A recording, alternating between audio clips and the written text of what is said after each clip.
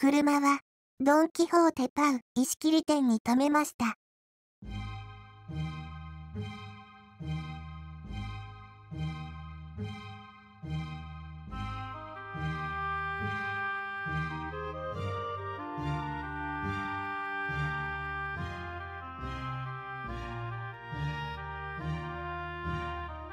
Google マップを見てたら、ここら、変が、キトラ川遺跡とありました。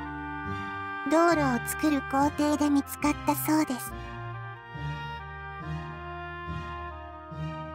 そして、この川は新川というそうです。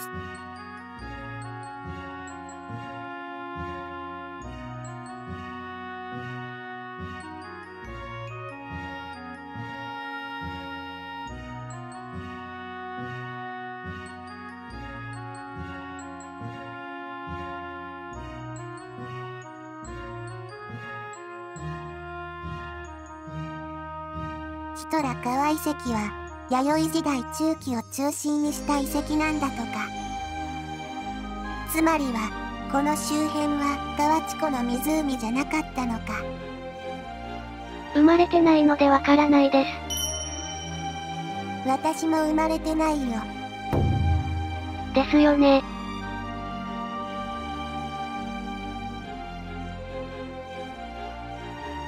Google マップ見てたらここら、変が、キトラ川遺跡だとあったので来てみただけです。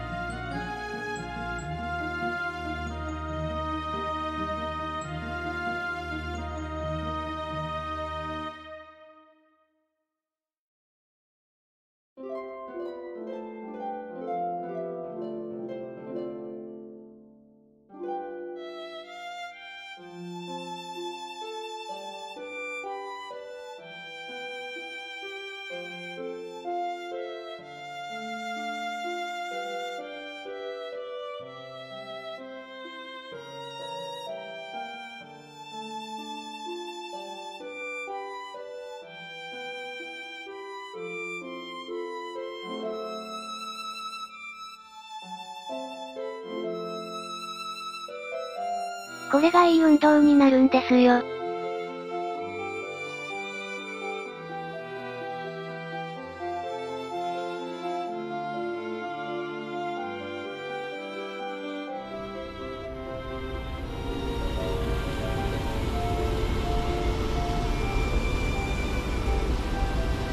音痴側に合流します。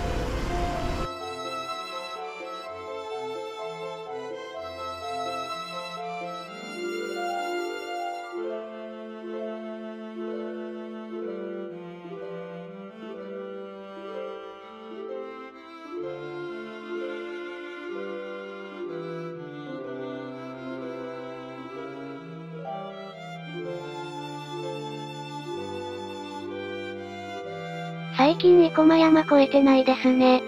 山っぷどうしたの？年間で課金したんじゃないの？ヤマップでもピンポイントに好きなルートや散策を出してくれてる人いるので、そういう人を無言フォローして地図や工程を見て楽しんでます。山以外でも、ルートや工程、時間を出してくれてる人いるのがありがたいね。ヤマップじゃなくて陸路ですやん。というかお散歩。史跡や見るべき場所をルートで出してくれてる人。神です。そこに、パーキングや最寄りの駅があればなおよし。まあ多少は歩くんですけどパーキング情報は本当に助かります。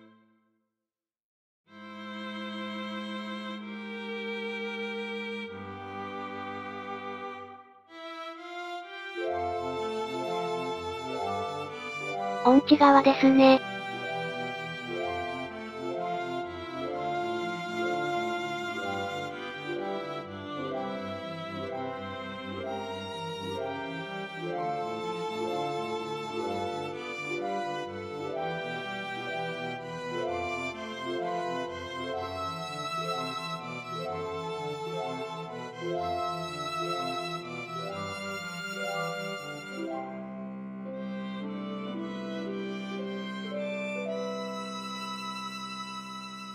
ここらで戻ります。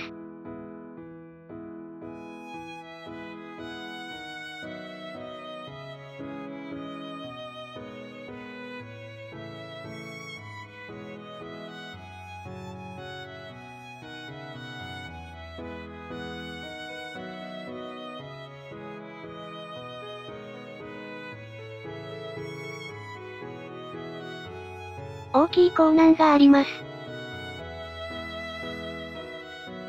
170号線も久しぶりのような、車のバッテリー、上がらないように何日かに1回乗るようにしてます。今日はそれもあり撮影に来ました。弥生町なんだ。歴史を感じました。東大阪の歴史です。出身が大阪じゃないのであまり知らないのですが、それはしょうがないよね。次の動画も東大阪市です。というわけで、最後までの視聴ありがとうございました。またね。